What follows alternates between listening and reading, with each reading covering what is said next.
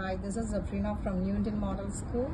I'm heading uh, the section middle school as an assistant head of section.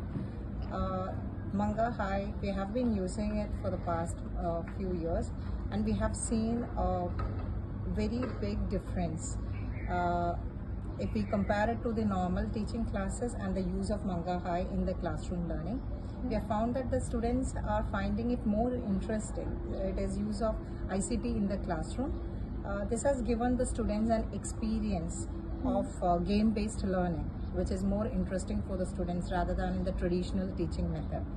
Um, I have my daughter who is studying in grade one and who is frequently using her Mangahigh, and it has given um, the kids, be it in primary, middle, or in the lower primary, they have uh, benefited a lot because it is a practice uh, that uh, they can use it from home as well to upgrade their skills in math.